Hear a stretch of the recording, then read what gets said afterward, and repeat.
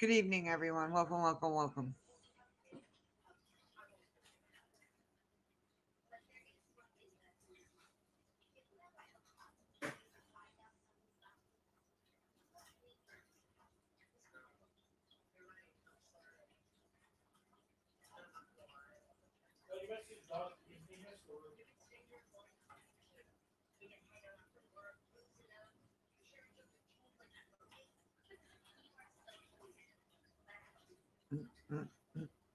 Mm, Yes, they do. Hey, Debbie, how are you?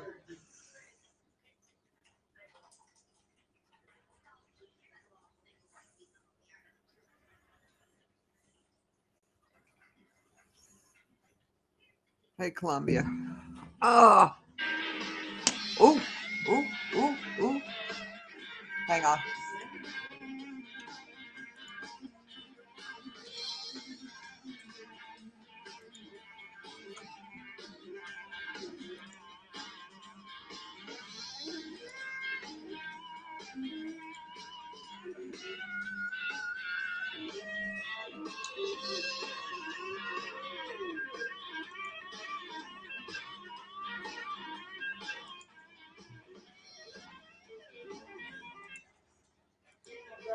All right.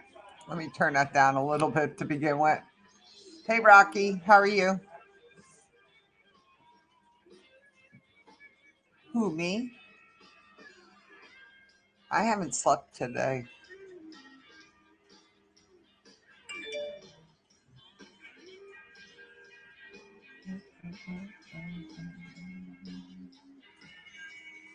It is nighttime. We talked about how I slept this morning.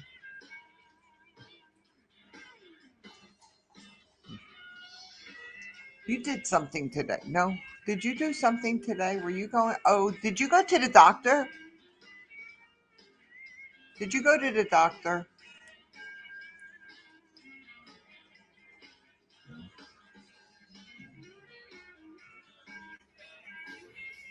Oh, I slept okay last night. I didn't hear the rocket launch. I'm doing well. Rocky, why don't you come over to this hap side because you're going to miss all the conversation. You can't see what everyone is uh, talking about. Happs.tv.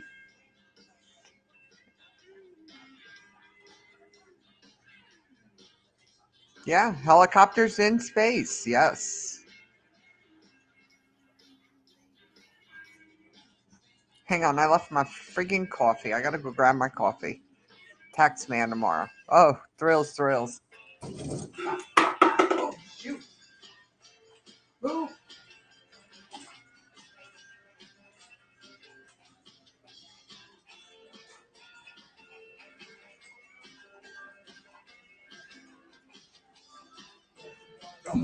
And of course, the washer just finished.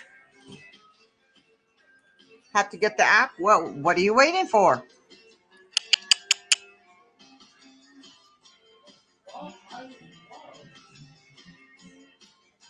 Okay, I got to give JPL a lot of credit here.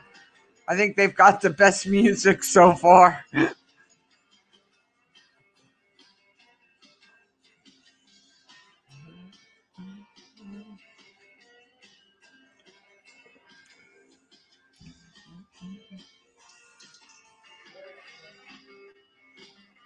Von uh, Karman, Karman lecture series. Uh, uh, uh. You don't have much time left, Rocky. Come on now. What do you got? Two weeks? How long do we have? Three weeks, one day shy. 20 days.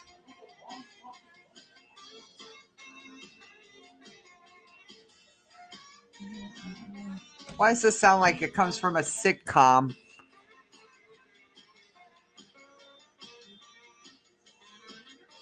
Yeah, it sounds like it comes from a sitcom.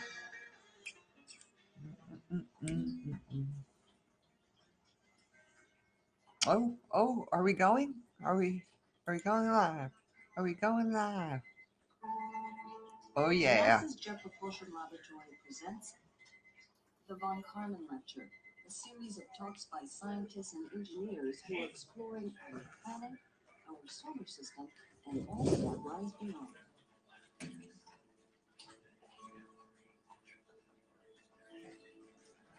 we are starting the straighten up and fly right maneuver, where the spacecraft will jettison the entry balance masses in preparation for parachute deploy and to roll over to give the radar a better look at the ground. Alpha indicates chute deployed. The navigation has confirmed that the parachute has deployed and we're seeing significant deceleration. in Oh, velocity. yes, Our three current company. Velocity is 480 meters per second at an altitude of about 12 kilometers from the surface of Mars. Heat shield set.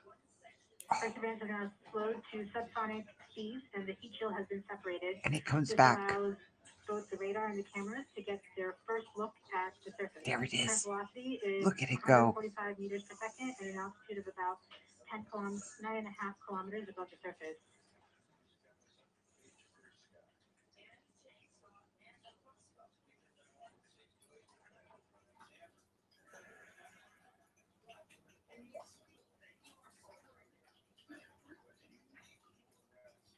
Nav filter converged. Velocity solution 3.3 meters per second.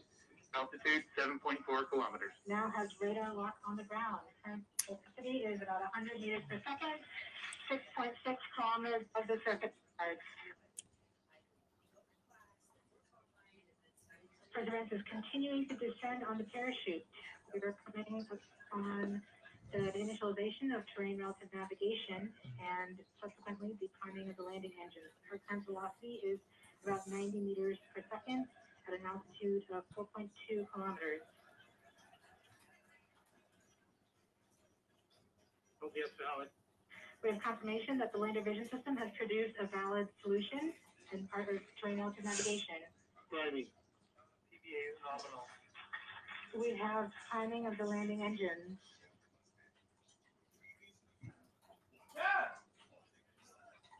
Back shell set. Current velocity is 83 meters per second at about 2.6 kilometers from the surface of Mars. The confirmation that the back shell has separated. We are currently performing the divert maneuver. Current velocity is about 75 meters per second at an altitude of about a kilometer off the surface of Mars. Here in safety Bravo. We have completed our terrain relative navigation. Current speed is about 30 meters per second, altitude of about 300 meters off the surface of Mars. We have started our constant velocity accordion, which means we are conducting the sky crane, about to conduct the sky crane maneuver. Sky crane maneuver has started. About 20 meters off the surface.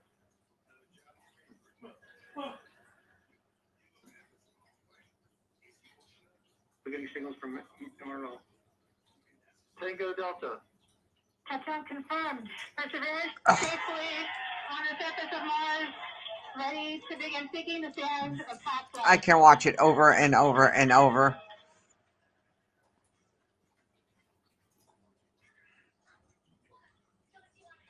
Hello, and welcome to another edition of the 2021 Virtual Von Karman Lecture Series. I am Nikki Weyer from JPL's Office of Communications and Education, and I will be your host for our topic tonight helicopters in space. Many of you took the chance to join us on February 18th as we watched the Perseverance rover successfully land on Mars. With this landing, the helicopter Ingenuity has also arrived safely on the red planet. As a technology demonstration, the helicopter is set to test the first powered flight on another planet. It takes both ingenuity and perseverance to fly a helicopter on Mars. So let's take a moment to see what this duo will look like in action.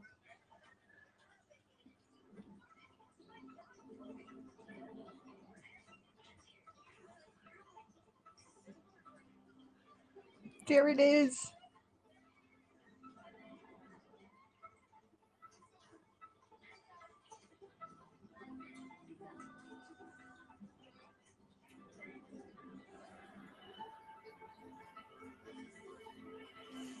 Hello, John.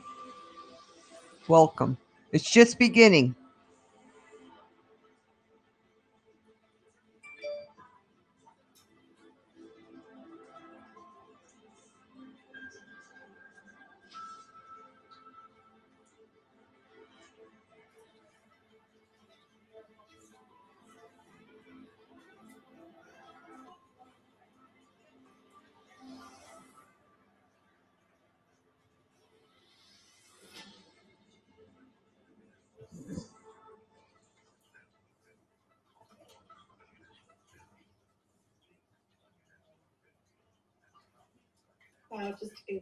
Footage we have there. Uh, joining us this evening as co-host is Sarah Marcotte, Public Engagement Specialist for NASA's Mars Exploration Program. Sarah brings over two decades of experience in out-of-school environments, working to connect learners of all ages to current scientific research. Thank you, John. Hi, John. Sarah. Hello, Nikki. So uh, my role tonight is I will be taking your questions from social media. It will work. Those questions coming um, in the chat wherever you're watching tonight. And I'm sure you're as excited as I am about the helicopter's first flight. So I want to make sure that you know where you can find out all the background information so that you'll be ready when, Ingenuity lifts off the ground. Um, we have a website, of course, which is go.nasa.gov slash ingenuity. Now, on those pages, you'll find all sorts of interesting things uh, so that you can learn about this historic mission. Uh, there's beautiful animations, there's images of the helicopter as it was being built in the clean room at NASA's Jet Propulsion Laboratory. There's um, cool quick facts, there's helicopter model, and there's activities for kids. So that's the, the best place to go to learn about the helicopter. And um, of course, when the helicopter sends back images that it takes during its flight, those images will be on that web page as well. So I'm excited to see your questions. I see they're already coming in, and uh, I'll be giving them to our guests throughout the show. Thanks, Sarah. Great ways to get involved. As always, if we run into any technical difficulties tonight or small failures, we ask for your patience and please do stick with us. We'll get them sorted out as soon as we can. Remember, this is your space program. We want you to get involved. As Sarah was saying, please put those questions in the chat. If you're watching on YouTube, YouTube, Facebook Live, LinkedIn, um, ask questions in the chat box and our social. Anyone have any questions, just put them in the chat And and I can ask. box, Please make sure you refresh your page and it should be right there for you. Our first speaker tonight started his JPL career writing software for the Deep Space Network. He worked on flight software for the Curiosity rover and is now the Mars Helicopter Operations Lead at JPL. Please welcome Timothy Canham. Hi, Tim. Hi, good evening, everyone. Thanks so much for being with us tonight, Tim. Can you tell us a little bit about who you are and how you got to work on this project? And let's bring up image three. Well, first of all, I want to congratulate Perseverance and doing a great job in bringing the Ingenuity helicopter into a nice soft landing on the surface of Mars. So I worked at JPL for a number of projects over the years. I started in the Deep Space Network. I worked on the Cassini project. And most recently, before the helicopter, I worked on the Curiosity rover flight software. As a matter of fact, much of my software that I wrote for Curiosity is now running on Perseverance as well. So most recently, our group had developed a set of software that we used on a number of projects internally. So I was asked to be the software lead for the helicopter. And we had a team of four or five programmers that put the software together and tested it. And since we operate the helicopter via the software, I was asked to be the operations lead to actually operate the helicopter once we got to Mars. It's an incredible story of how you ended up where you are today. But let's talk a little bit about the helicopter. How do you build a helicopter that's going to be able to fly on Mars? And if you could see image four, please. Well, when you design a helicopter for Mars, you have to keep in mind the environment you're going to fly in. Mars has a very thin atmosphere, so we need to design it to be very lightweight. The blades are very lightweight, they spin very quickly. And also, because we are so far from Earth, you can't have a joystick and just fly it like you would a drone at home. We had to write the software so that it could fly itself. We basically get it a set of instructions, and the helicopter takes off and flies to the places we tell it to. And we had an extensive test program here on Earth where we did many flights in a special chamber at JPL to prove that our software would work when we got to Mars. So we're very excited to be finally here and actually able to execute these flights on the surface of Mars. It's incredible, and I can't wait for the chance to see all of that. Um, we're actually going to bring the audience in right now and let them ask the next question for Tim. So, Sarah, I'm sure they're excited out there. What are they asking? So Alethea on LinkedIn is asking, what are, or what is one of the greatest challenges of piloting a helicopter in space? Well, as I mentioned before, Yeah. the atmosphere is super thin, and so you can't design a helicopter like you do on Earth. And so we had to do very new kinds of algorithms in the software. We had to design hardware especially for flying on Mars. And so all of that was a challenge. We did things that have never been done before. It's sort of a Wright brother moment in that we get to go to a planet somewhere outside of Earth and try a helicopter there that's never been tried before. So we had to do special design work and special testing to make it happen. Sarah, let's do one more question from the audience for Tim. Sure thing. I like this one. Uh, this is from Margie on Facebook, and she's asking for her nine-year-old son Jonah. So we've got a, a young space fan out here. So he says, "How will Ingenuity fly in a different gravity?" Well, that's a great question. And we designed it to be lightweight because Mars has about one third the gravity of Earth. And so we had to design that in when we did it. It's actually too heavy to fly on Earth. And so we had a special mechanism when we tested it here on Earth that would pull up on the top of the helicopter and simulate Mars gravity. So we could fly in a chamber that was pumped down to Mars pressure and have a special mechanism that allowed us to simulate the gravity of Mars and let it fly around in the chamber. So yes, we had to keep in mind the gravity of Mars when we flew it. It sounds like a lot of testing went into this project, and thank you, Sarah, for that great set of questions. Now, as Tim, you alluded to, earlier, Uh, the of course, I can barely hear it. I'm actually shocked joining you can. I'll go Mars shut it off, but it's down low, low. Dr. Farah Alibay. Hi, Farah. Hi. So this next question is actually for both of you. What are the challenges of working on a mission like this, separate but united?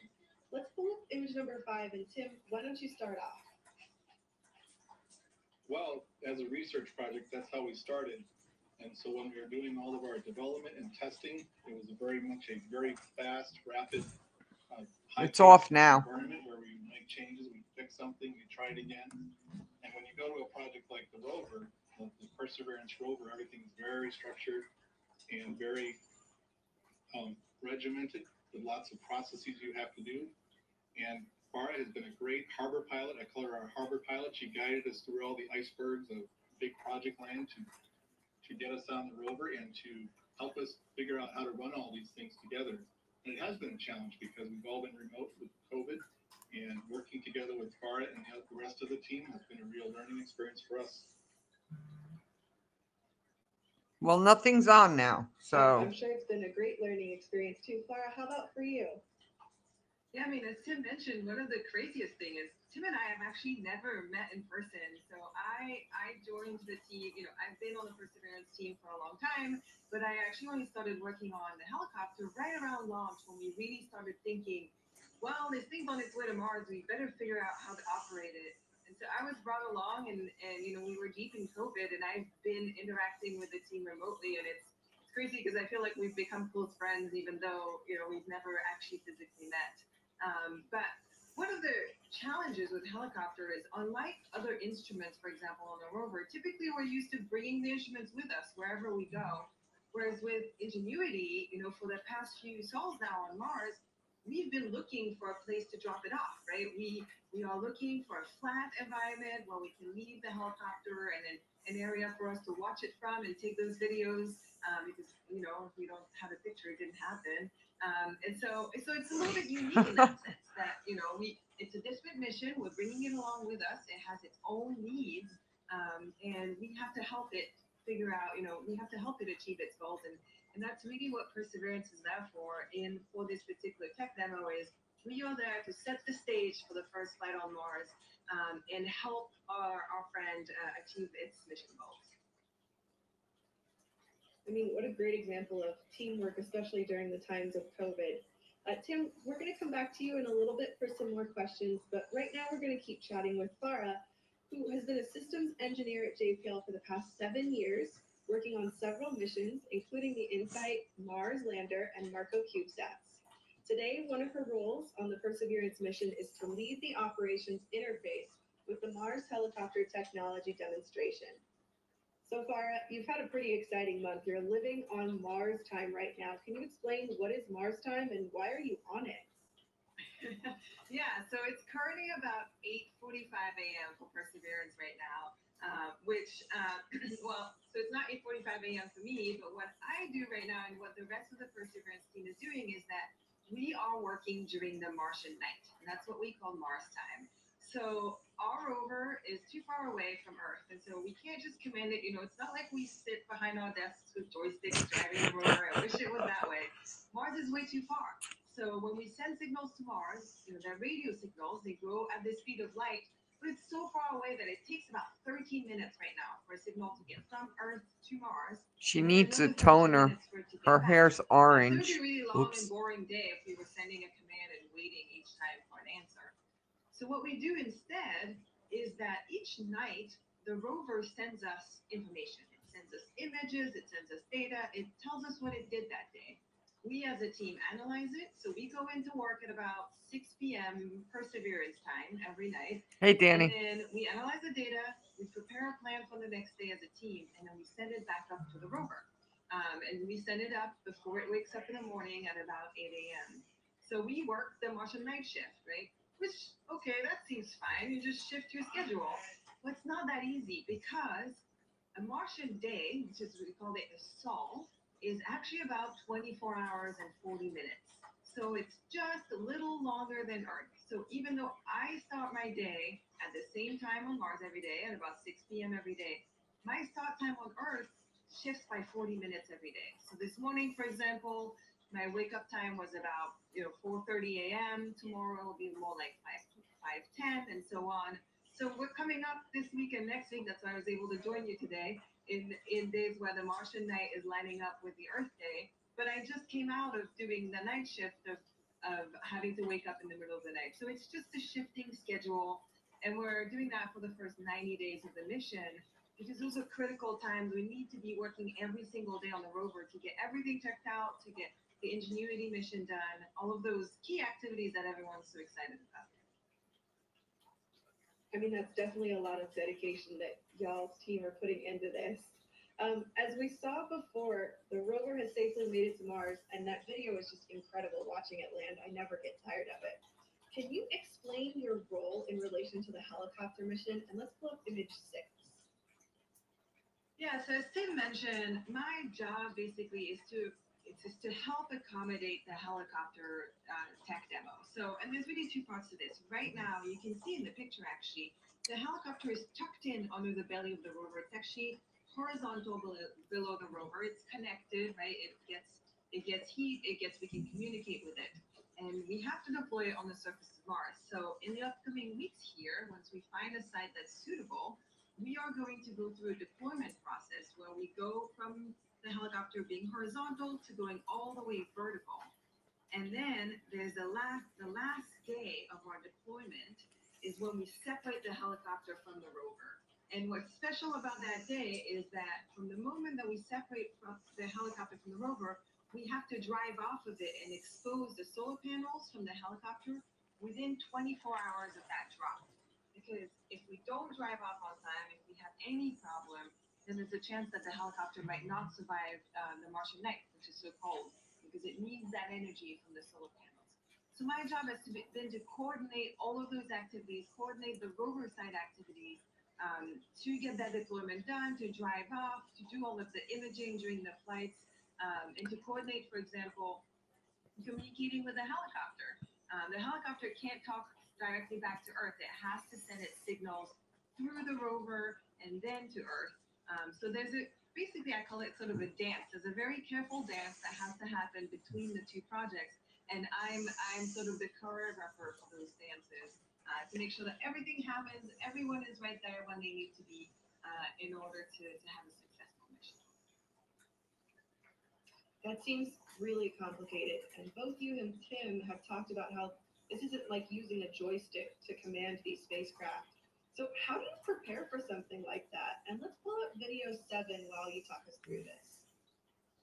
So we test, test, test, and test some more. I can't tell you how much time I've spent Hey, in Debbie. the Mars yard at JPL in the past few months. So, so the Mars yard is basically a big sandbox. It looks like Mars. You're seeing it in the video there. And we have a replica of both Ingenuity and Perseverance. Perseverance. The, the replica for Perseverance is called Optimism. And we use those Earth, you know, those Earth robots to test before we get to Mars. And we test everything, all of the activities, all of the sequences, the timing to make sure that once we do it on Mars, it's not the first time. It, you know, it should be boring by the time we do it on Mars because we've done it so many times. So the video that you're seeing here, for example, is what we hope the deployment day will look like on Mars. So we tested our deployment um, and we tested driving off of it. And the other thing that we do is that we also test our people. Um, so back in, in, in late January, we had a dress rehearsal for the day that we're going to drop the helicopter. So we had all of our team, you know, in the control room, and I was sending them data and and you know spoofing anomalies and things like that, and people had to react to them and, and do that go no goes and decide, okay, are we going to drive off? Is the helicopter separated? What's the health of the helicopter? So um, so that's really helped us build confidence in our ability to do this. And you know, I think we're as ready as we can be, and we're really excited to get to do it uh, for real on Mars. It's a little bit like you know when you rehearse for a show for a long time, and then you're ready for prime time. I think that's where we're at right now. I love what you said about this being a boring moment because you've tested it so many times that you want to make sure that it's going to work. And if it goes according to plan, I, I guarantee it will not be a boring moment for any of us. That's a great way to think about it. Um, we're actually going to get the audience involved again to ask our next question. So, Sarah, what are they asking out there for Farah? Well, I'm struggling because there are so many great questions coming in, so I'm having a hard time deciding. Um, but there were there are a couple themes emerging here, and so I thought these were really interesting. So, um, for Farah, so Kurt on LinkedIn is asking, and it's also kind of related to what Alicia on YouTube is asking. How That's did you me. with The um, dust storms. So, how will Ingenuity react to adverse environmental conditions such as dust storms? Um, you know, will they work? You know, will the helicopter work in stormy weather? What do you think? So we're not even going to try and fly in, in stormy weather. One of the advantage of having Perseverance is that we actually have a weather station on board the rover. Um, so we have wind sensors, we have temperature, and we've actually been very closely watching the temperature and and the winds since we landed. We actually had a meeting today where we looked at the you know at the at the results that we have so far to try and see okay you know not just is there anything going on on Mars right now, but even what time of day do we think it's better to fly? Um, the winds on Mars, as it turns out, are really predictable. Um, so on from a day-to-day basis, there's times of day that are more windy than others.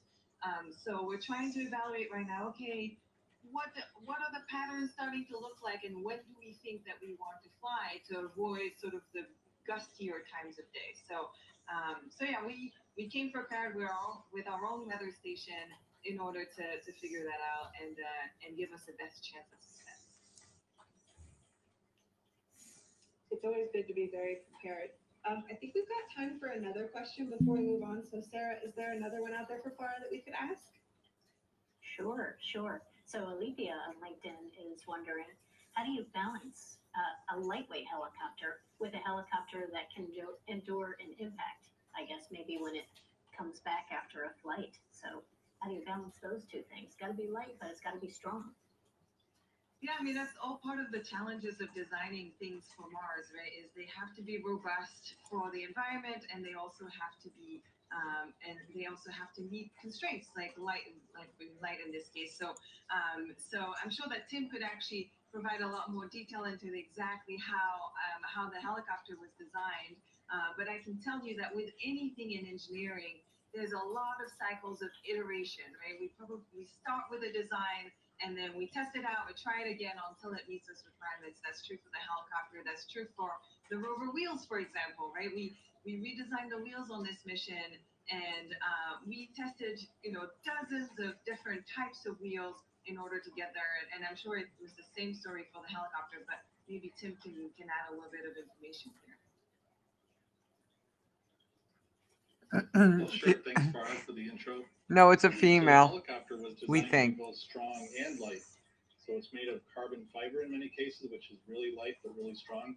The blades are can spin really fast and lift the weight of the helicopter, but if you picked one up, it would be about the weight of a sheet of paper. So the whole helicopter weighs about four pounds, but yet it's able to, you know, lift itself up and fly around. And we did many tests of the legs. You know, the legs are springy so that if we bounce a little bit on landing, they don't break, and they're very stable. They have a wide stance, so that if we bounce a little one side, we can recover.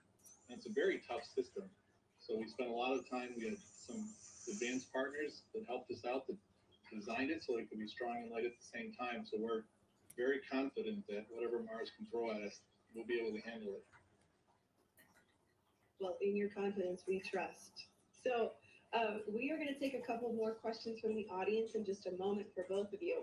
But I have one final question for you. Is this part of the dream of working at JPL?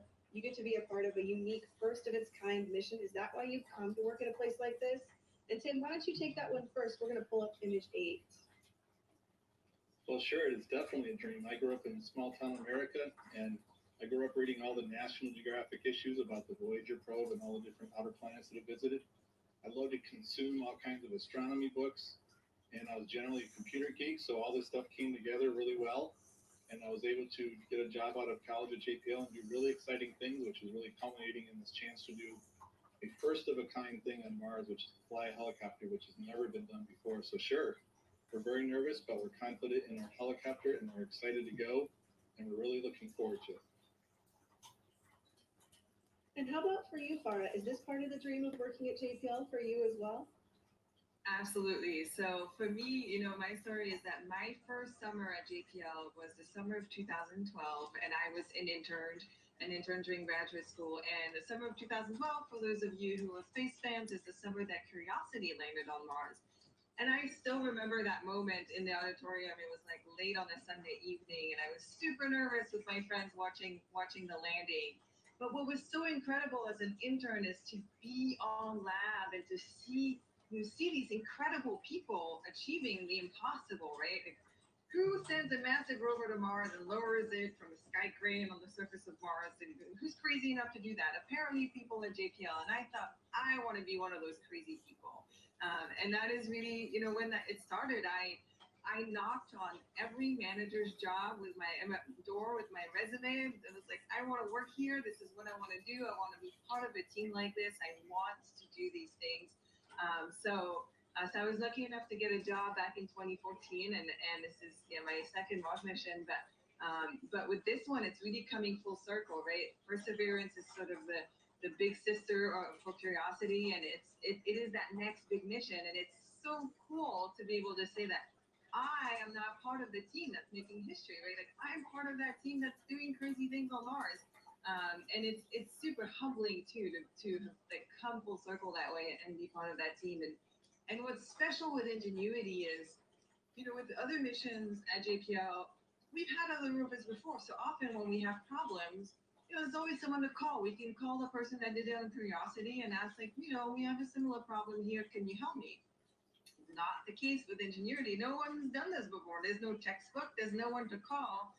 We just got to figure it out. And that that is sort of like the best piece of engineering right there, right? Like we we have to figure it out. We figure it out as a team. We come up with creative solutions and and you know we're we're the ones writing the textbooks, right? And and eventually I can't wait one day when, you know, hopefully that this all goes well and and you know when we'll be the ones getting the phone calls we'll be the ones that people are gonna reach out to when they want to apply the next on mars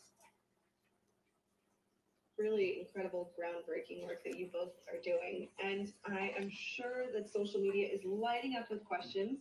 For those of you that are still watching uh, with us please make sure you put those in the chats and our social media team will bring them to us as quickly as possible. We'll answer as many as we can. Sarah how's it looking out there? Oh, there's plenty, there's plenty. Can I ask one right now? Please, You know, I gotta right on clear my deck here.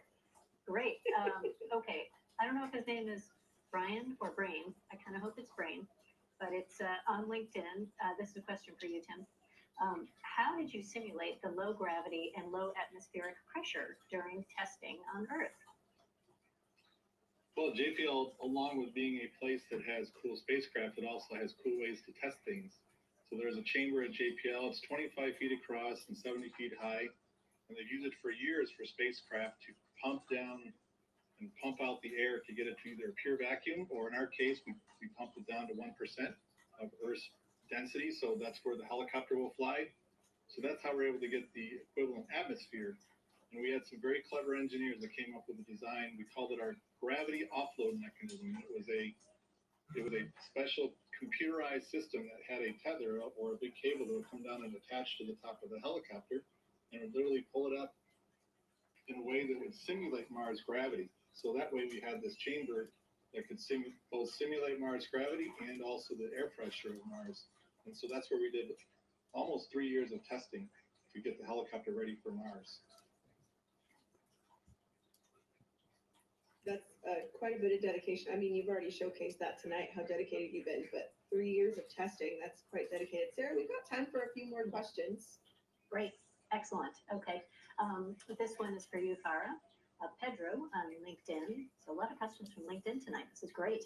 Um, how will Perseverance track ingenuity in the sky? Is there a beacon or object recognition?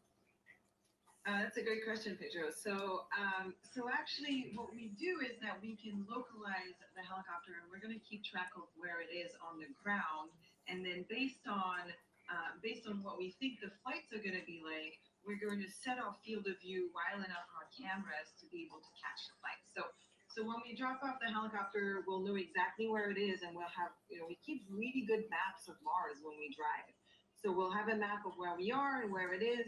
And then as we drive away from it, uh, we'll be augmenting those maps and relocalizing using images every time. So think of it as like I've set a pin on a map and I try and point back to it. And based on my images, I can sort of adjust a little bit what the, the error might be, you know, in my uh, my position or what I think my position might be with the helicopter. So so even at 100 meters away, we'll know where the helicopter is and we'll be able to image it before its flight. So we know exactly where it is. And then the morning of that first flight for example we'll point all our cameras at it and multiple cameras and we'll wait eagerly and we are even going to take a video hopefully of the flight and then we should see that that helicopter um, in our field of view and then when we're done and it lands we'll be able to relocalize again and figure out um, where it, exactly where it's landed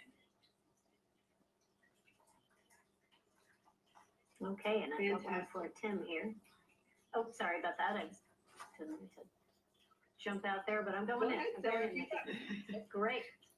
Kirk on Facebook. Um, I thought this was just for you, Tim.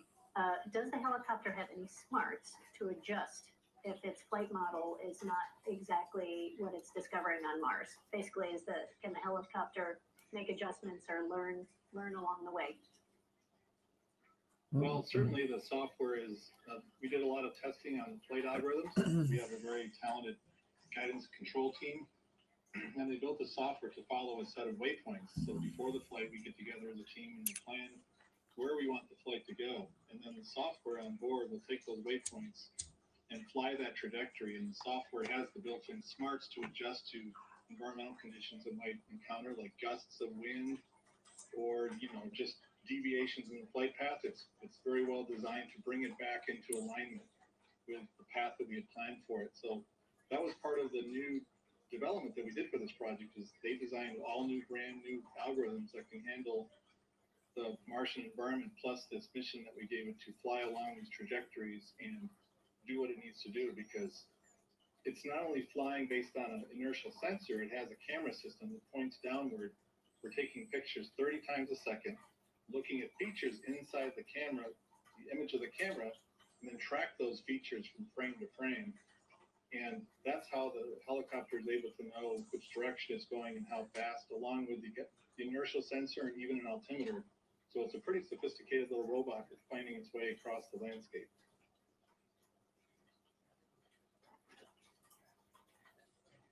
We have time for some more questions, Sarah, so feel free to ask a couple more. Okay, uh, this is also for Tim, because this is a little bit about uh, the helicopter team. And so I know that you've been on the helicopter team for a long time. Um, so Rhonda on Facebook is wondering, first of all, how big the helicopter team is. And then um, sort of a related question from White-tailed Jedi on YouTube is who gets to pilot the helicopter every day? How do you choose? Oh, that's a great question. So we had a team, I would say at our peak, we were probably thirty or forty different people, all bringing different kinds of talents to the table. I'm here because I'm representing operations, but there was many other talented people on the project who did mechanical design, the thermal design, the power design. And when you mentioned the pilot, our chief pilot, Håvard Grip, is a very talented uh, guidance engineer. He even flies planes for fun. So he's a naturally gifted guy for doing this, and he's the one with his team that are going to be planning each one of the flights. And so that's how it works. Is is the guidance team gives me the path they want to follow. We enter it into a series of commands. It's that file of commands we give to Farah and her team, and they beam it up to the rover, and then the rover sends it across to the helicopter and executes it. And then we get to wait until we see the data as we chew our fingernails to the bone.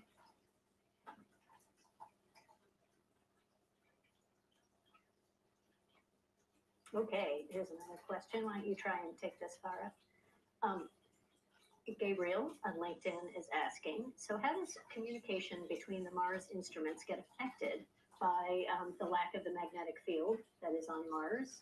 And um, does the solar radiation um, affect the communication between the helicopter and the rover?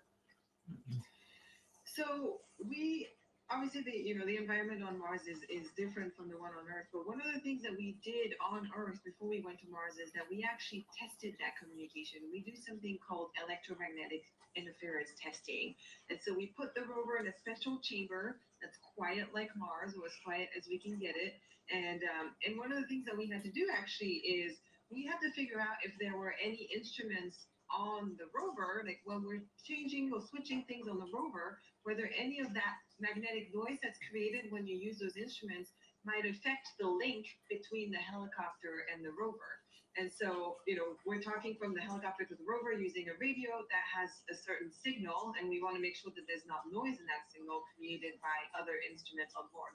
And we actually found that there's a few instruments that, uh, for example, if we're moving our motors, that that creates just enough noise that we can lose communication with the rover, we can lose packets. Um, so that's why we do that kind of testing before we go, so that we kind of understand the behavior. And then when we get to Mars, um, we're gonna sort of restrict certain, the usage of certain things, like we won't be moving our arm all over while we're talking to the helicopter, so that we know that we can get a clean signal that way. So, um, so yeah, it's definitely a test that every single um, spacecraft goes through. It's one of the key tests that we do before launch uh, to figure out what's compatible with what and make sure that we can uh, we can successfully communicate uh, with our helicopter in this case. Okay, do we have time for another one? Yep, we've Yeah, got time for okay. another one. You got it. Ron on LinkedIn is asking, will the helicopter attempt to land atop higher elevation features? Or typically always return nearby the rover? I guess that's for you, Barb.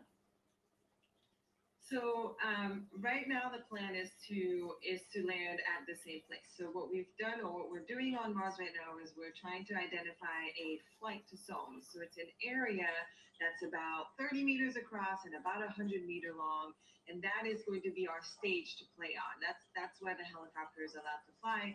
And within that, there's a little there's an area that we've you know that we're going to identify or try and find that will have you know we're looking for a flat area with hardly any rocks uh, where the helicopter can land. That's kind of its like landing pad, right? Like, so if you have a helicopter on Earth and you, you it can only really land in that flat area with a big H on it. That's that's going to be our, our helicopter on Mars. No big H, but you know we'll have our area where we're going to um, be able to drop our helicopter and fly to and from there. So so the goal is to is to always return to that home base and then from there do increasingly more complicated flights. So at the beginning we'll just go up and down and then we'll go across um, and then we'll see. Maybe uh, maybe the team, the helicopter team will get sporty and, and, uh, and try to break free of the current plan. But for now, we're planning on, on landing at the same place. Break of the current plan. That's that's brave. I like that. I like that. Getting excitement. sporty. Is there We all like that. For just a couple more questions, probably about two more. Okay, okay. Hey, Myrna. All right. Angelica from LinkedIn, she's getting it. Um, this for you, Tim. So what is the actual flight goal of the vehicle? Um, is it flight time? Is it distance? And is there a particular forward velocity that um, you're looking for with the helicopter? Well, since this is a kind of a new, a new mission, we've never done this before, the primary objective of this mission is to characterize what it's like to fly on Mars. So we're gonna be doing, as Farah said, a series of these increasingly aggressive flights, and we, we take lots of data during those flights, and we analyze that data on the ground to see how it performed, and then that's the kind of data that will feed forward in the future possible helicopters that can do more and have greater capability. And so that's really the objective is to is to test how well it flies. And so we'll, we'll be doing these increasingly harder flights to stress the system a little more each time and see, you know, how the data comes back when we do those flights and how it responds to various things in the environment like wind and altitude. And we're going to fly at about five meters high. We're a little bit limited by our altimeter, how far down it can see, and camera system. So it'll be about five meters high, and we'll be flying two or three meters per second horizontally when we do our horizontal flights.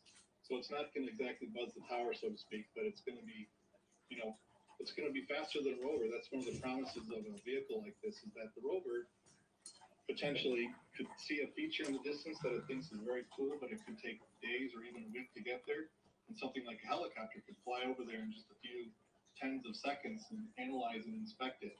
So that's part of what this mission is about is to do this groundbreaking work to see how well it performs on Mars so that future generations of helicopters can do even more cool things. I like that. Even more cool things in the future. And speaking of things in the future, we have one final question, Sarah, for our speakers tonight. Okay, let's take it from Facebook. From Matt on Facebook asks, will imagery from a helicopter be used to help Percy navigate the Martian ter- terrain as it makes its way to the Percy, really? Um, I can take that one. So, so That, that's probably a good one for you, Tara. So- um, in the nominal plan, no. Um, so what we're learning again, as Tim, as Tim just mentioned, right? Um, Ingenuity is paving the way for future helicopters, for future missions. We want to demonstrate that you know that helicopters can fly on Mars. And, and by the way, rovers started as technology demonstrations too. We had that's where we started. You know, a small team came up with a small rover on Mars, and and and that showed that we could drive on Mars. And now look what we're doing, right? So so we're really hoping that one day Ingenuity will be that stepping stone also for for bigger um, helicopters. But but in this in this case, you know, the the area that um, that Ingenuity is flying over is one that we've already imaged. We actually wanted to assess that area to make sure that it was safe, um, so that you know if if Ingenuity needs to do an emergency landing, for example, we know that it's a safe area, that it doesn't have big boulders and things like that. So so again, at least you know, per the current playbook, and who knows what you know what the um, what the team is going to decide to do once you know if we are successful with those first few flights. But for the first few flights, at least, it's it's going to be an area that we've already imaged. Um, but it definitely is going to be really interesting, right, to look at um, the path that it takes and the images that it takes and compare that to what we know about the surface. And again, that's going to help us learn about what it what it's like to fly on Mars and, and what it takes. So um, so it's definitely, you know, going to be something that we're looking forward to.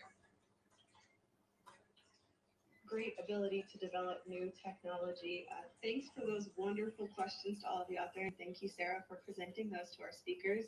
But unfortunately, that is all the time we have today for questions.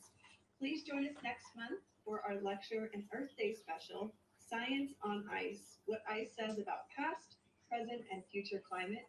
I want to thank our speakers, Tim Canham, and Dr. Farah Alibay. Thank you so much for joining us and discussing this very exciting topic. Also, big thank you to our wonderful questions co-host Sarah Marcotte and everyone working behind the scenes to make this possible tonight. And to all of you watching, thank you for taking the time to join us every month and thank you for your wonderful questions. If you've missed one or would like to revisit any of our Von Karman talks from the past five years, they are available on JPL's YouTube page. Thank you again, everyone. Be well, have a wonderful evening, and we will see you in April.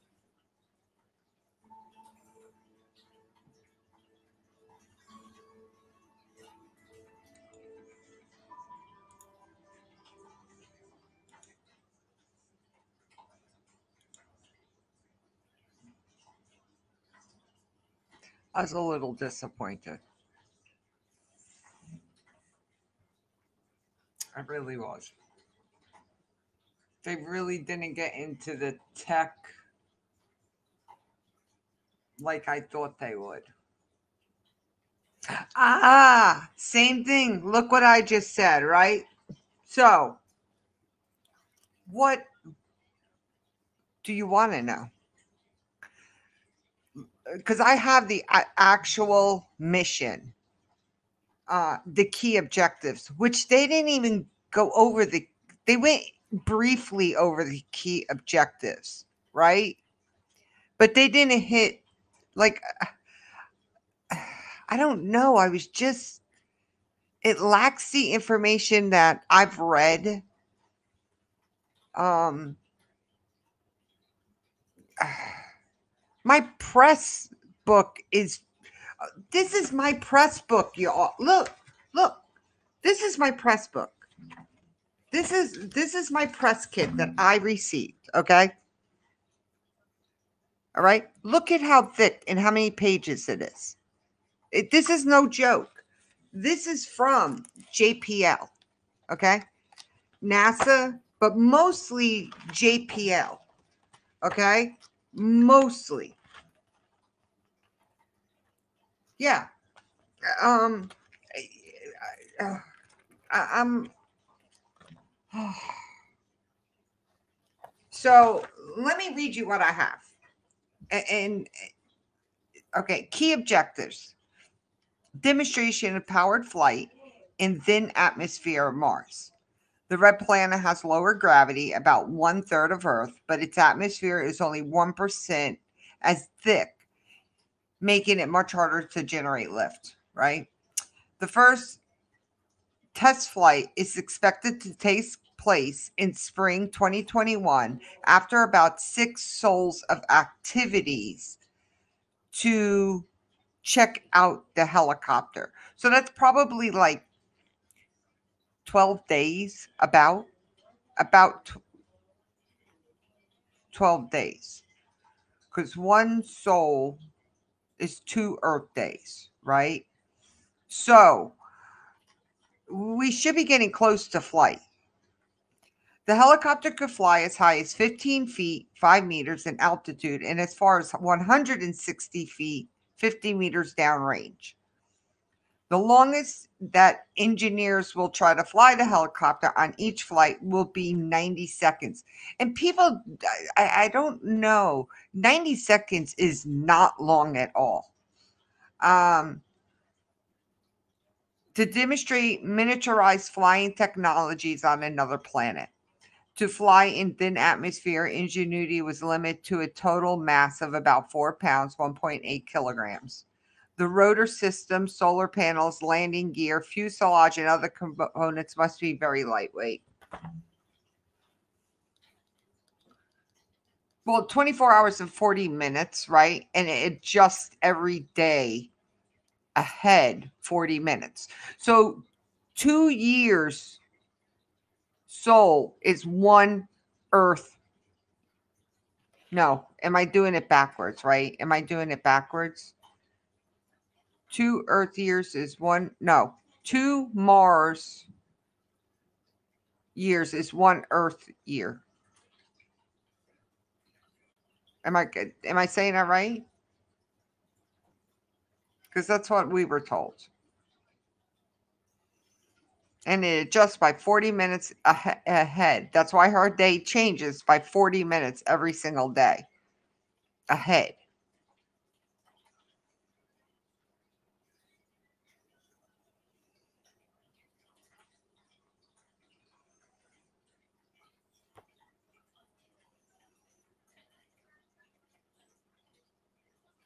Right. But when you get to the end of one year, it's already two Mars years. That's the way they explained it, Columbia. I'm saying it wrong. So two Earth years is one Mars? No, that's absolutely in, in yeah, maybe it is. Okay, so yeah, I, I am saying it backwards, right? So two Earth years is one Mars year. Not 48 hours. Two Earth years is one right, one Mars Mars year. Is that right?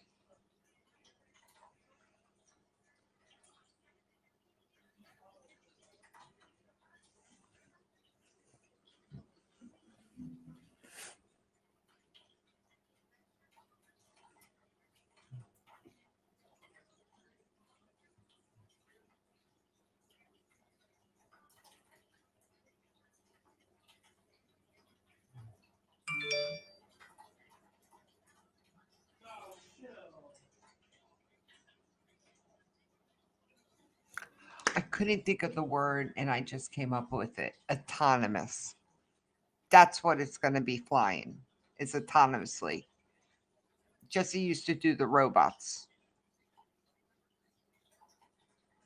with school.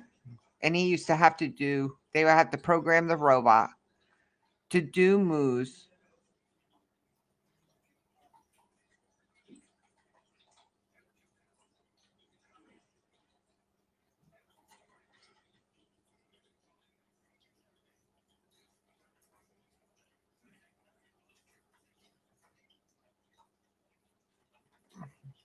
I'll go back and read it.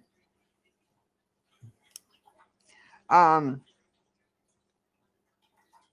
so that's what they're going to be doing. It's a, the autonomous.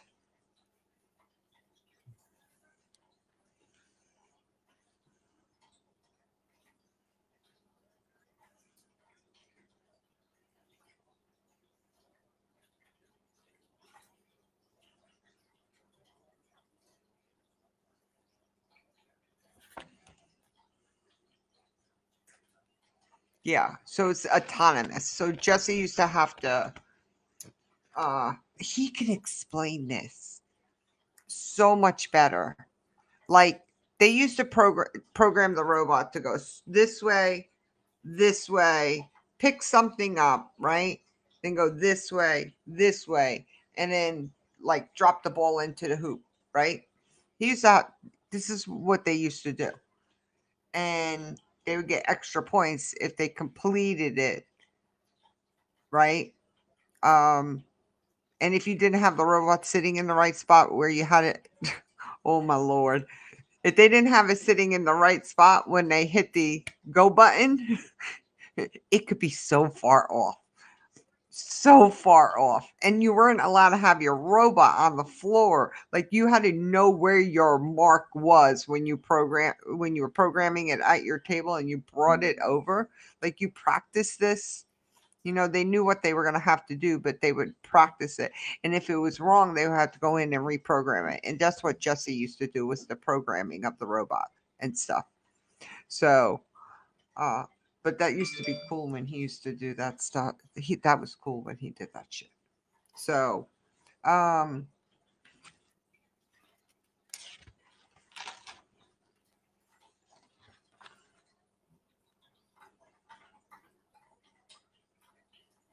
So communication wirelessly with perseverance by remaining within 0.6 of a mile, one kilometer.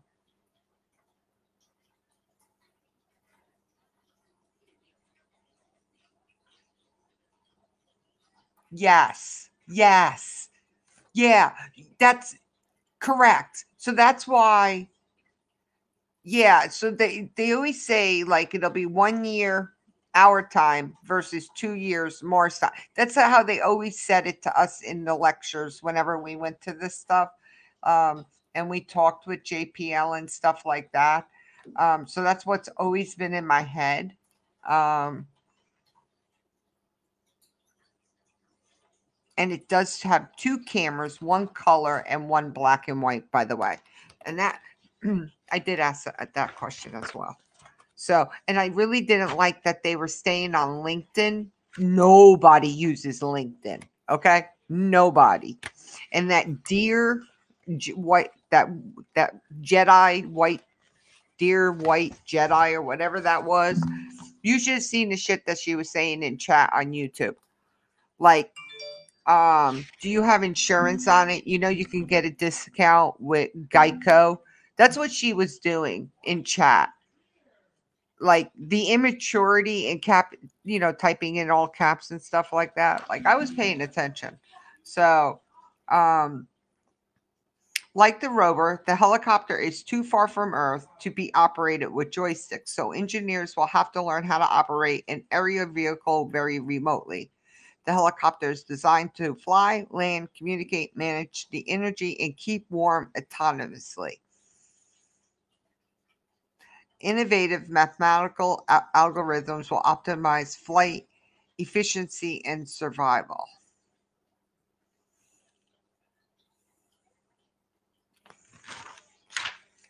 I love this stuff. This one is good.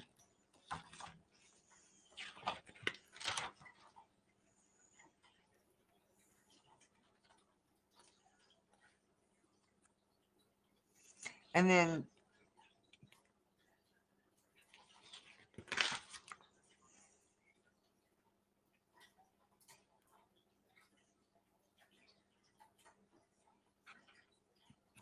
so they were talking about no i didn't Mm-mm. no um so the um mars environmental dynamic analyzer analyzer meta um Meta is a set of sensors distributed across Perseverance mast and body that measures wind, speed and direction, air pressure, relative humidity, ambient temperature, and solar radiation. Solar radi- radiation affects the surface environment, and it is important to understand more fully before sending humans to Mars. A skyward facing camera, SkyCam, measures how tiny airborne particles or aerosols such as dust and ice can affect sunlight reaching the surface. Oh, yeah, a lot of people were acting eh, asking that. Yeah, of course it does. And they um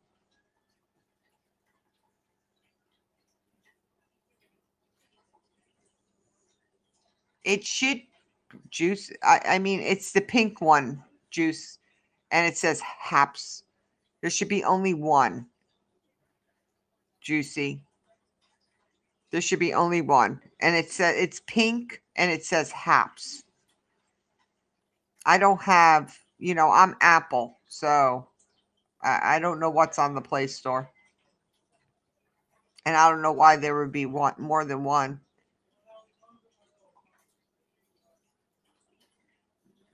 you can go to probably go to Happs.tv on a web browser and it should have links to the play store in there to make sure you get the right one.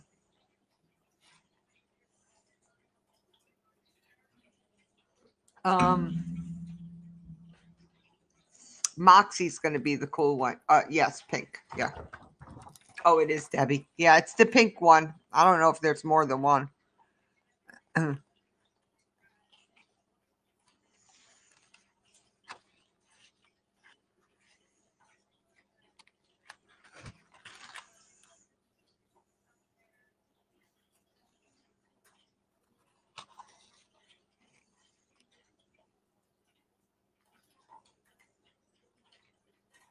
Right, not T-Mobile Magenta. yeah.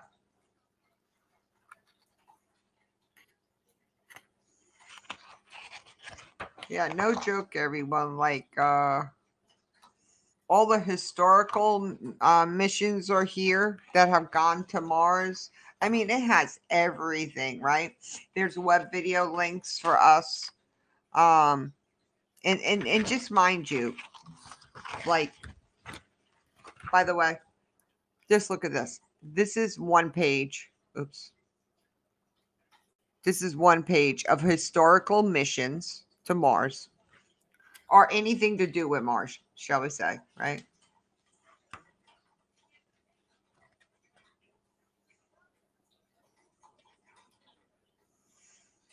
I, I would say it would be Happs News. It's not a dating site, even though I know you wish it was. And then there's another page here. And they started in 1960.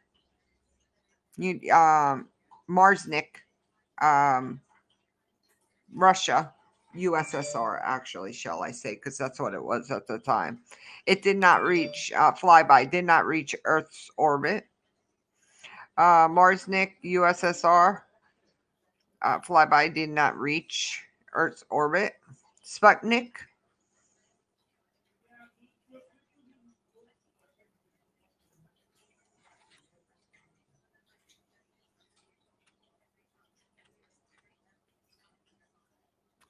Very good. Phoenix Mars lander. Is that the one that crashed? Landed May 25th, 2008, completed prime mission and began external mission. Last communicated November 2nd. Oh no. Which one crashed?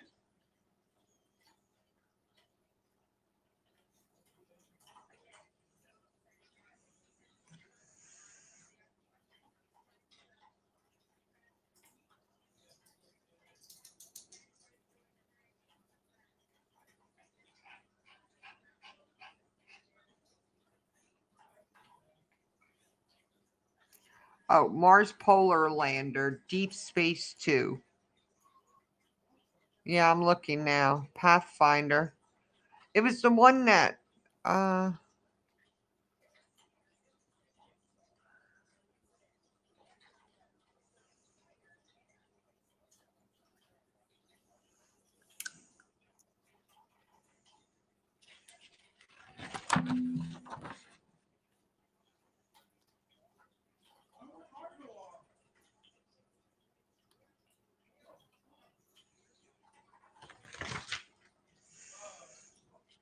there was one. Remember when they used to bounce it in a, like a ball? Insight, wasn't it? It was before. Was it before?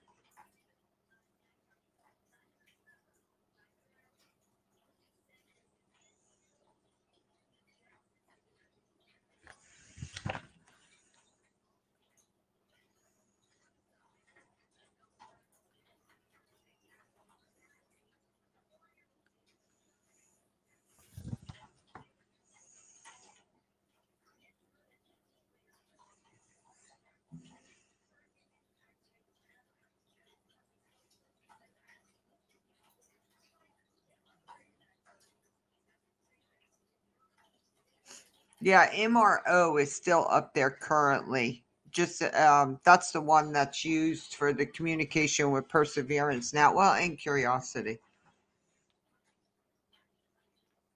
The European Space Agency and Russia Space Agency's Roscosmos plan to launch the ExoMars 2022 mission in 2022 to deliver a European rover, Rosalind Franklin, and a Russian surface platform, Kazachok.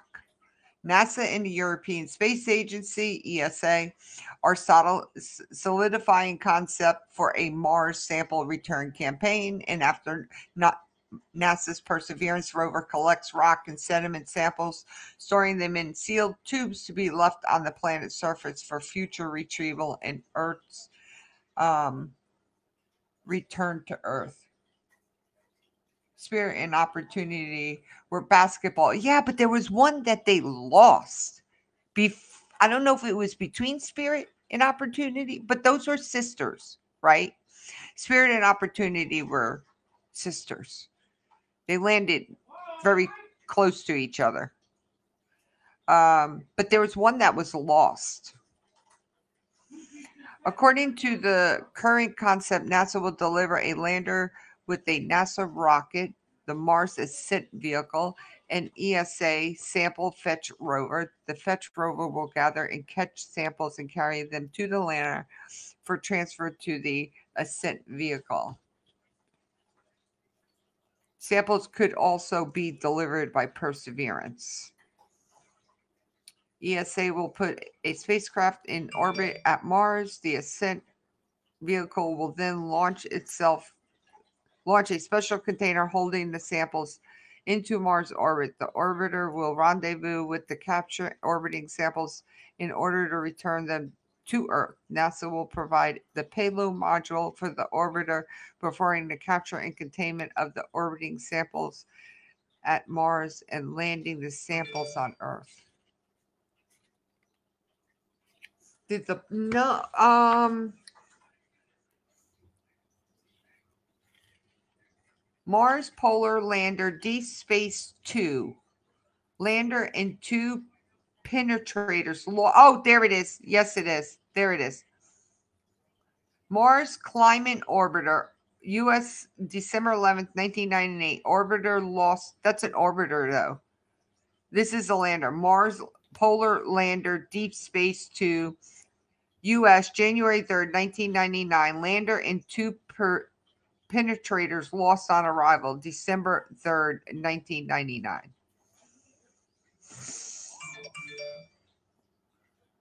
There it is.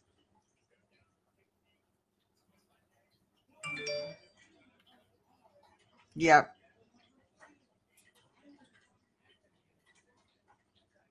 Now was see Pathfinder was there, right? Pathfinder was there already.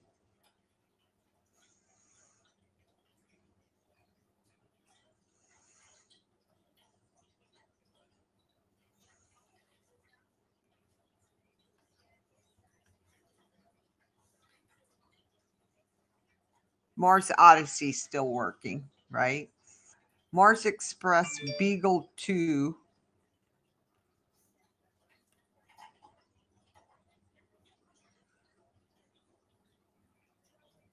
Beagle 2 was lost.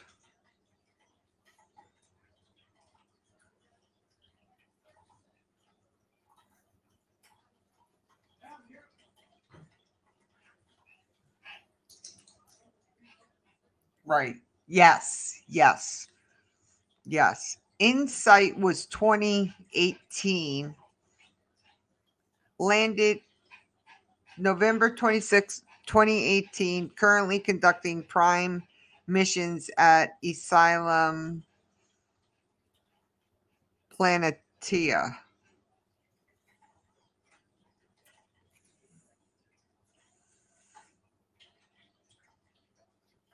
And then Phoenix, Mars. Opportunity. Aw. Um, Opie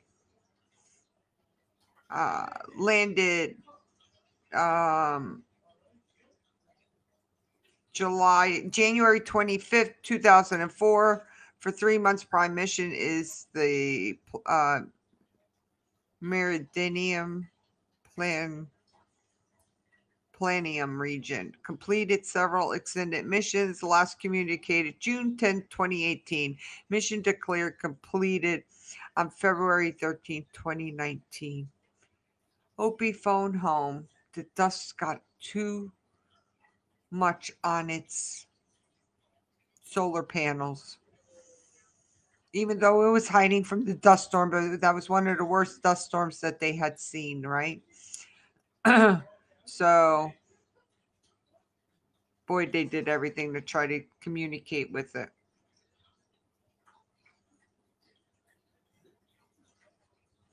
So, Curiosity landed August 6, 2012, right?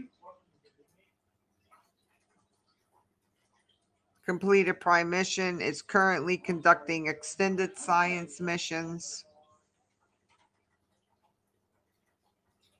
It's getting dark, yes. Oh, stop. Opie. Oh. oh.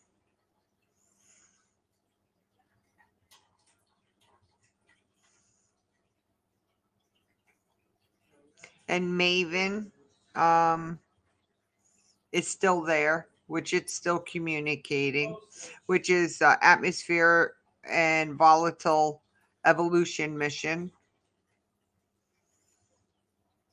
And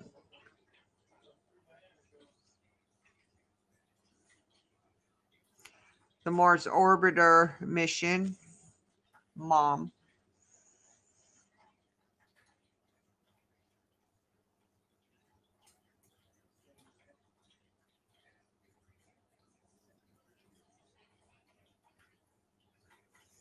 The ExoMars 2016 Trace Gas Orbiter and Schiaparelli module, which the module didn't make it, right? Uh, Mars Cube 1. Two Cube satellites data relays for InSight lander flew by Mars and completed relay November 26th, concluded operations February 2nd, 2020. Mar- Mars Global Remote Sensoring Orbiting and Small Rover, China. Oh, isn't that the one that didn't make it? Is that the one that didn't make it? Summer of 2020. Mars Global Global Remote Sensing Orbiter and Small Rover. That's the one that did not make it.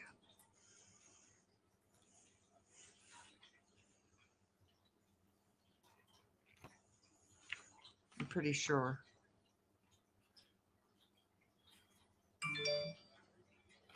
Yeah, I don't remember if it overshot or if it just didn't make the landing.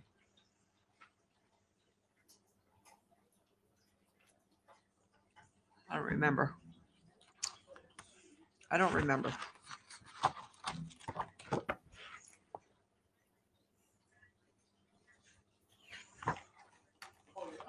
July, August, September, October, November.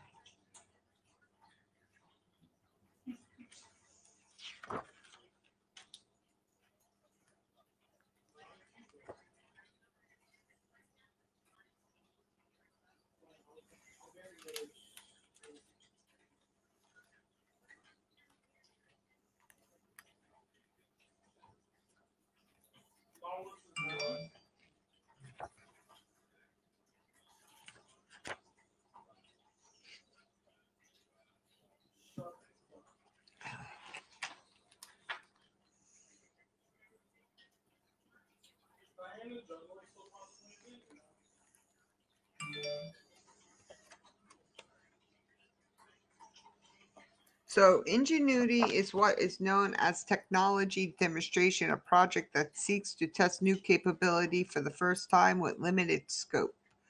Previous groundbreaking technology demonstrates includes the Mars Pathfinder rover, Sojourner, and the Mars Cube 1 MarCO CubeSat that flew by Mars.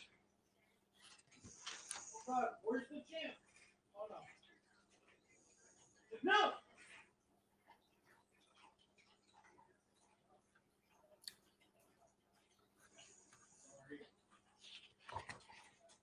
Uh, I was trying to think of where the-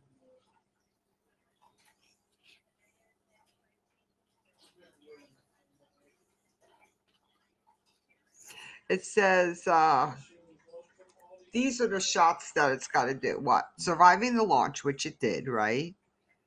It survived the cruise. It safely deployed and landed, right? Autonomously keep warm through in- intensely cold Martian nights, which it's doing. Autonomously charging itself with its solar panels. So once they release Ingenuity, then they'll have to find that out. And then, if Ingenuity succeeds in its first flight, the helicopter team will attempt up to four other test flights within a 30 day Martian day, 31 Earth day window. So, so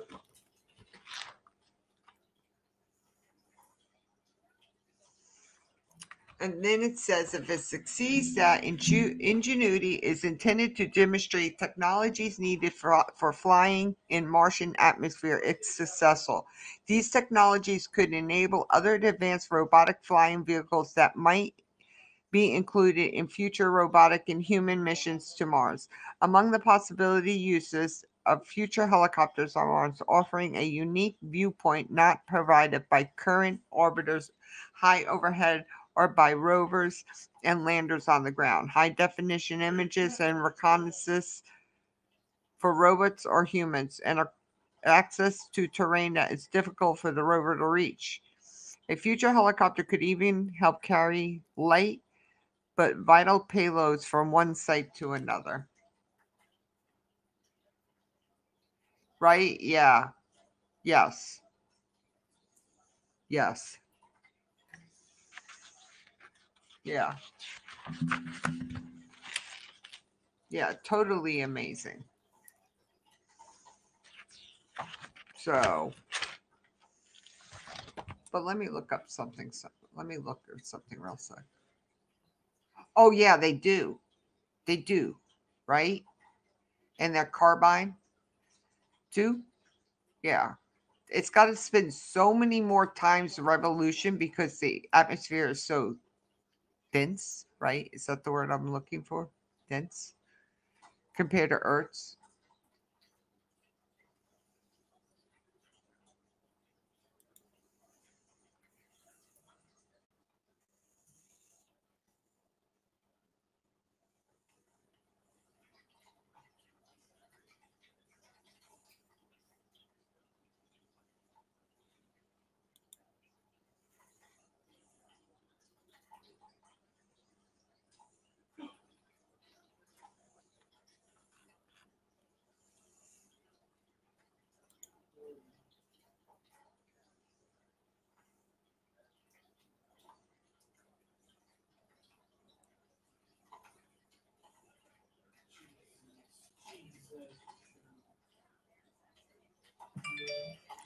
Oh, they moved Perseverance off the front page.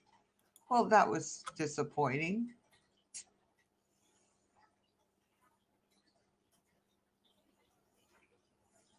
That's right, yeah, look at that.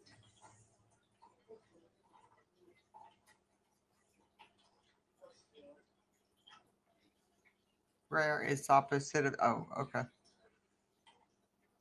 All I know is they spin super, super, super fast. Because we seen it. Um, we had a demonstration of it. It's like, like, oh my god, it's crazy. Let me just- video. He's in India. There's no, there's been no blog updates for 21 days. Really?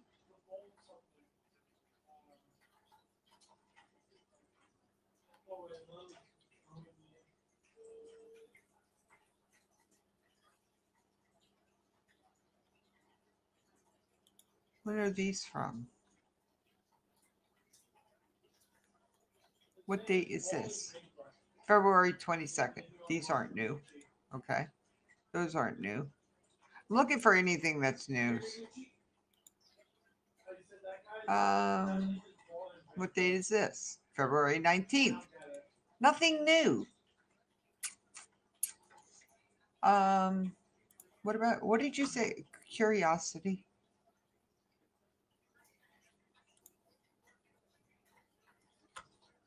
Three thousand day. Has there been?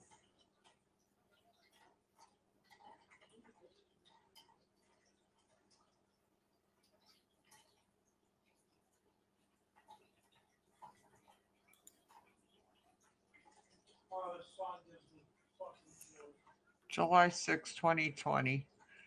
Lord, they really need to do November 12th, 2020. August 3rd, 2020. Man, they're just not updating. Shush. It's not updating like it should. Anything new on the James Webb?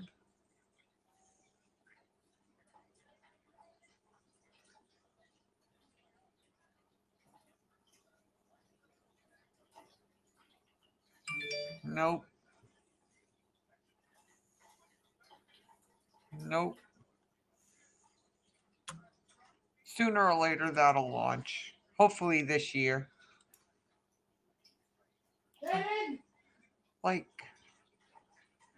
image of the day, image galleries, image of the day.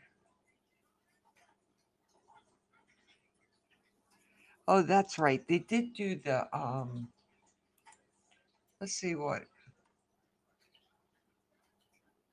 March 11th. Is that today? The Expedition 64 crew had a busy science day observing worms, readying small satellites for deployment and conducting vision tests. Two astronauts are also pressing ahead with preparation for the third spacewalk in two weeks at the International Space Station. Tiny worms were launched to the orbiting lab in February.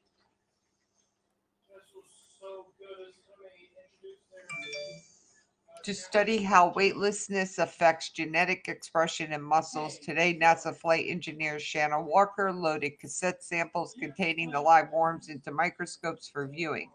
Next, NASA flight engineer Kate Rubins will record microscopic video of the worm's activity to understand the effects on spaceflight on the muscles. Observation may lead ways to maintain and improve muscle health for humans on and off Earth.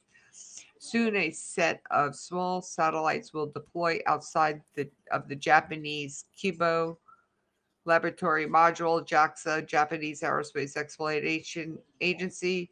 Astronaut Soichi Noguchi loaded the tiny satellites, also called CubeSats, in a deployer that will be placed inside Kibo's airlock.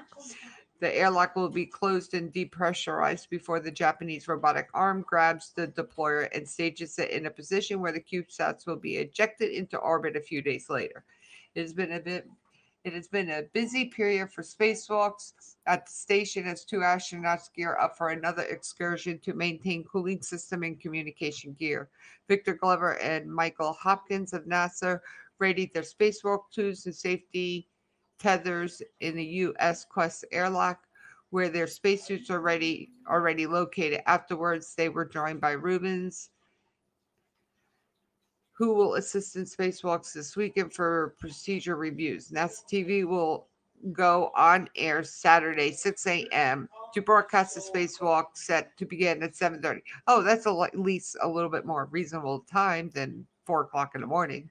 Vision is critical to mission success, and researchers are continuously studying how microgravity affects human eyes.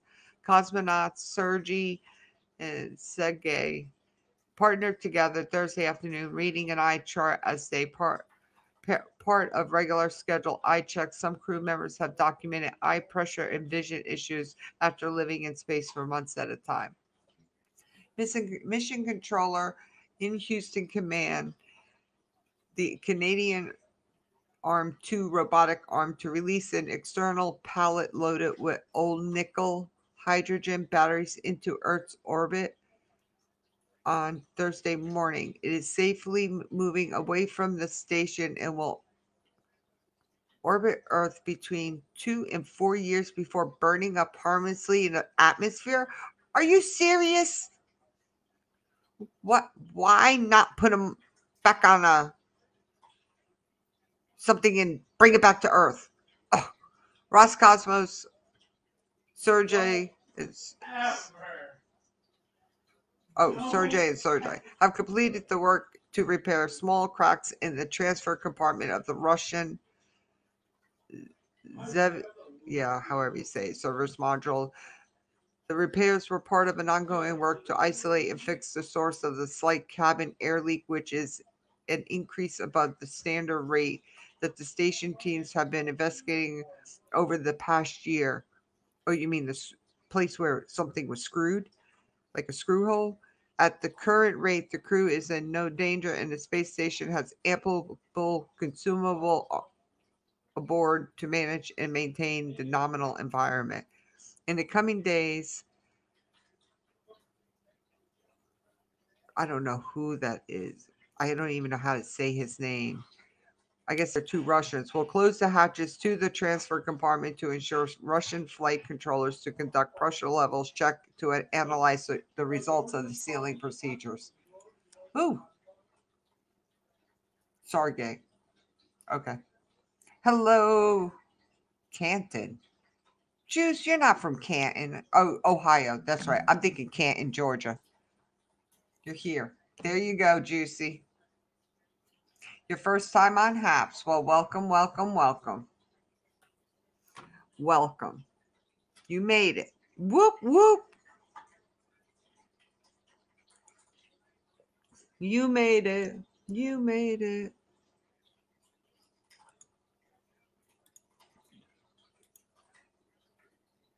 So,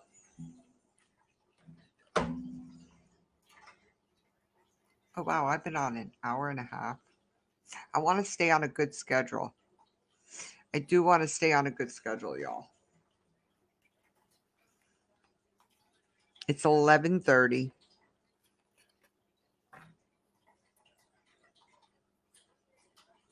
Yeah, it was going to be sooner or later. But juice, I mean, uh I, I don't know what you enjoy watching, um, but most of the people, not the drama scopers, but most of us are here. Um, I don't know who you used to watch and stuff, um, but you can do a search um, on the feed and then go up to the little. Um, and by the way, they do. If you have a computer, the broadcast studio is amazing because you can multicast. I'm going to four platforms right now, you know, Periscope, Twitter, YouTube, and my Space Gal page. So, and if anyone is commenting on Facebook, I'm not seeing your comments. I'm sorry, but come over to the Hops World. Top of my page, there's an invite link. So, Any flash. Well,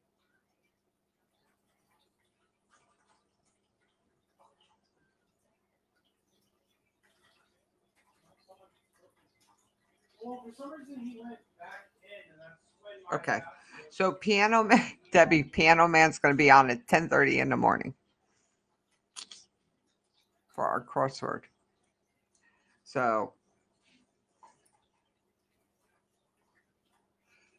but I'm going to get off here, everyone. I got to go do, uh, take the clothes. You know, I thought I washed my clothes today. Came home, folded some stuff up.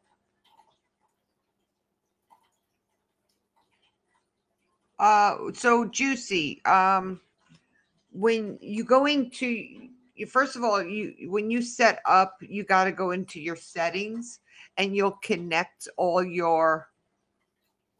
Yeah, seven thirty your time. Eh, Yeah, um, you'll go into your uh HAP settings and hang on. Let me make sure it's under settings. Go to your profile. Is it? Yeah, go to your profile. And then go to settings. I think it's in settings. Profile, settings.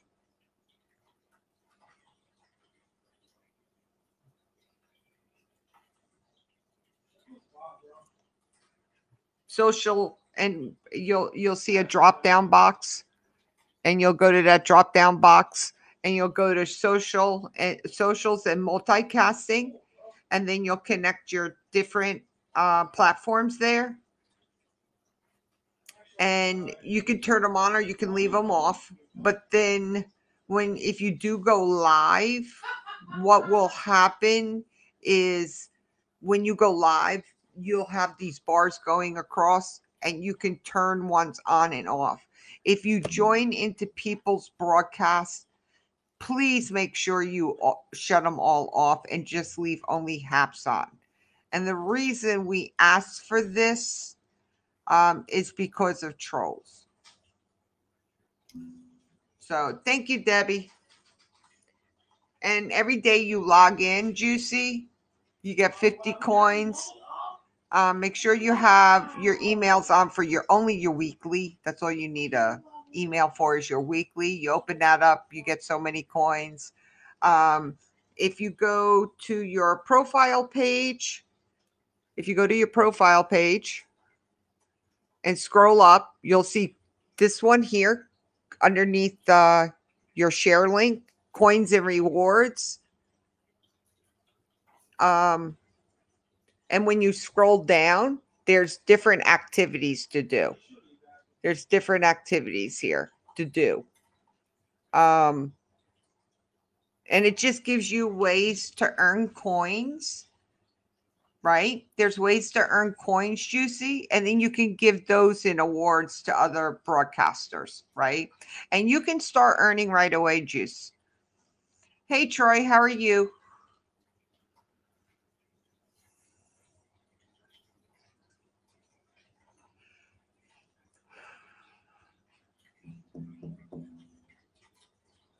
No, you get. Oh my God, Troy, those cookies look so huge. Like one is going to be an entire meal. Thank you. Thank you, Troy. Hearts back at you.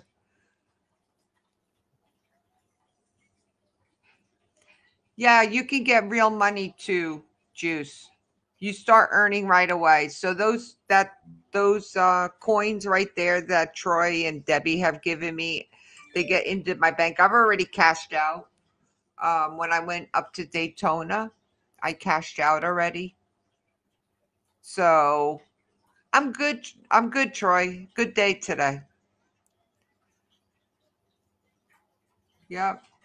So you need $200 to cash out. But, you know, it is what it is.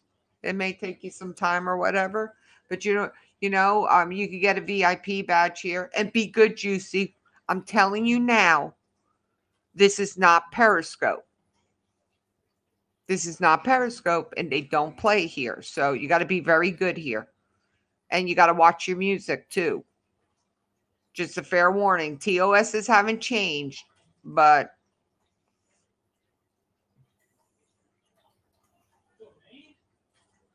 mm-hmm. It is better than per- Periscope, but just remember to behave here.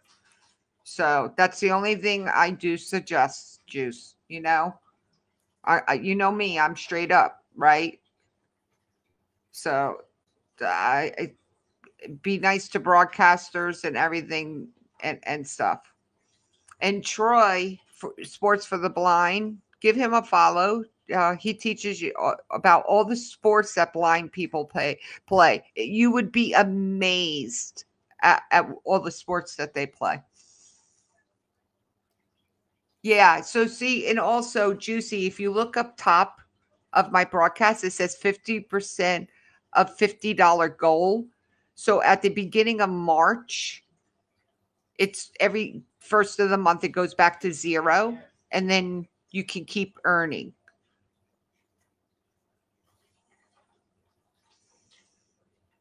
I like the private chat with people in your broadcast. Uh, does it actually work, Troy? I thought everyone can see that. I thought that wasn't fixed. It only works with people that are are in like when you're up with me. Is that when it works? Is that what you mean?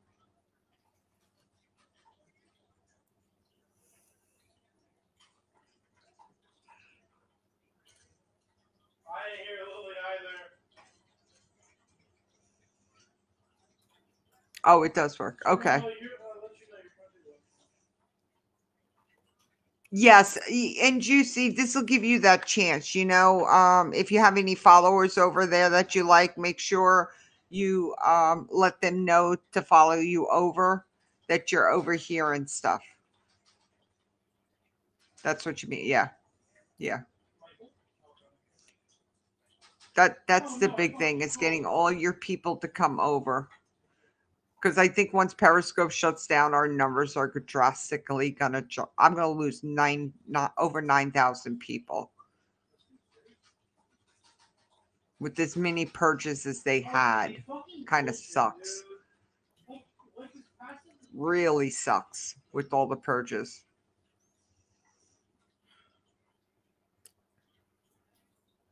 Really, Jared? You're done with the internet for di- for today? I don't think you are.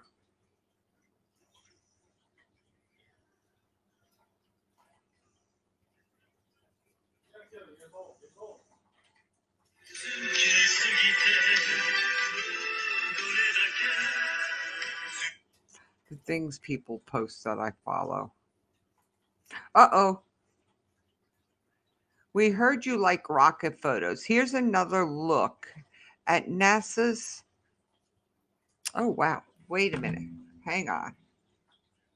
I already followed you. I already followed you, Juicy. Make sure you follow me. So, and and I'll teach you a little quick lesson, right? So, yeah, and that's your invite link there. Um I've already followed you. You'll have the Happs. Uh, they will do like today. Um, the Happs team streams different hours, but tomorrow the Happs team will do um, where they feature everyone's videos. So um, every I've I've been featured twice. Um, two weeks ago, right? Well, this will be what three weeks ago, and then a couple of weeks before that. But um, that's a good way to find find new people to follow. Um, the discovery tab, I'm not too thrilled about the discovery tab, but um, they're working on it.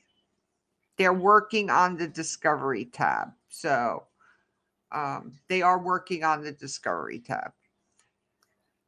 But it gives you a little bit of an idea. You know, Alexis, the cook, the one that used to cook in the morning. She's around. Vanita is here. Um, I don't know. All the scopers are here. Bannerman. I don't know who you used to follow and stuff, but they're around. You just search, you'll find people. Go into people's broadcast. Um, the more you comment um, in different broadcasts, it's you'll get top commenter, different things you can earn. Can't you can't post anything yet on your page, links or nothing like that. You have to be on Happs for a little while before they allow that. Yeah, and we have a new update coming uh, next week. Stabilization they're working on, performance issues. Um, so it's a new platform. They're expanding quickly hopefully their servers are going to expand some more but um because i see a latency issue already today but yeah i'm going to be good and i'm going to bed so i get up at a decent time in the morning. I'm trying to keep myself on track because i have an early doctor's appointment next week so early. Yeah darn it. You just troy go trolling around for a little while you know? Go trolling around for a little while. Make a few comments on go and check out some older broadcasts right? And you'll have it back it updates every couple of hours or something like that. It's really hard to keep up with. You just drop in hit that one i'm from i'm from. So people kind of know. I like when people do that uh troy. And then i know they watched my video right? You know they just you know drop a little note a like i see it. What if pewdiepie comes alive i, mean what what if he does? He can. Why would he leave? He probably won't because um he's got a contract with youtube so i i don't know about pewdiepie. That's a different that's a different beast there so and he can't multicast and i don't think he can be on another platform. So live streaming. But all right everyone. Everyone have a great night. Peace out. I'll see everyone in the morning. Good night